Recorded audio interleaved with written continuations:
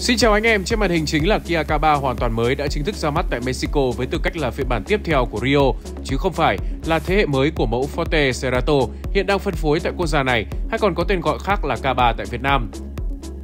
Theo công bố của nhà sản xuất, Kia K3 2024 hoàn toàn mới sẽ là một chiếc xe lớn hơn nhiều so với Kia Rio trước đó. Cụ thể, xe có kích thước tổng thể dài rộng cao lần lượt là 4.545 x 1.765 x 1.475 mm và chiều dài cơ sở là 2.670mm. Về mặt thiết kế, phần đầu xe của Kia K3 2024 dường như được lấy cảm hứng từ mẫu xe đàn Anh Kia K5 với lưới tản nhiệt mũi hổ rộng liền mạch với đèn chạy ban ngày vuốt ngược và kéo dài dọc theo các cạnh. Hình ảnh chiếc xe được hãng công bố là phiên bản GT Line, vì vậy cản xe trông hầm hố hơn với cách tạo hình răng nanh ở cửa hút gió phía dưới, cùng bộ vành kích thước 17 inch. Ở hai bên hông của Kia K3 2024 sử dụng nhiều chi tiết trang trí màu đen ở hốc bánh xe, sườn xe và cản sau. Đường mái dốc nhiều về phía sau theo phong cách fastback.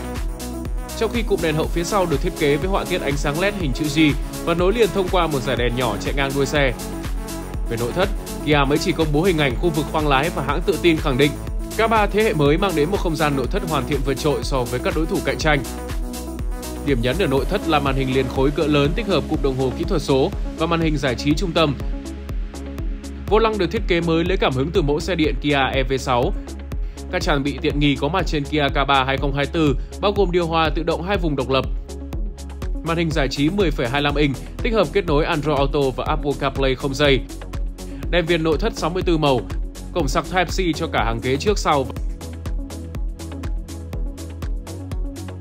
Về hệ thống chuyển động, Kia K3 2024 sẽ có động cơ xăng 4 xi lanh, dung tích 1.6 lít, sản sinh công suất 123 mã lực và mô men xoắn 157 Nm. Khối động cơ này đi kèm hộp số 6 cấp cho cả số sàn và số tự động. Phiên bản GT Line của Kia K3 sở hữu động cơ 2.0 lít với công suất 152 mã lực, kết hợp với hộp số tự động 6 cấp tích hợp lẫy chuyển số sau vô lăng.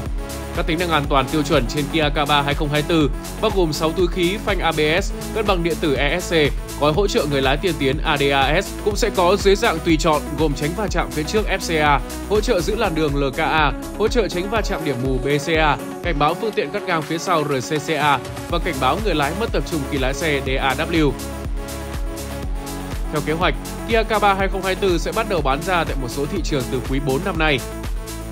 Hiện tại, mẫu xe tiền nhiệm Kia Rio đã ngừng bán tại châu Âu, Bắc Mỹ, Anh, Úc và Nam Phi, nên nhiều khả năng mẫu xe kế nhiệm Kia K3 sẽ nhắm tới các thị trường đang phát triển như Mỹ Latin, Trung Đông và Đông Nam Á.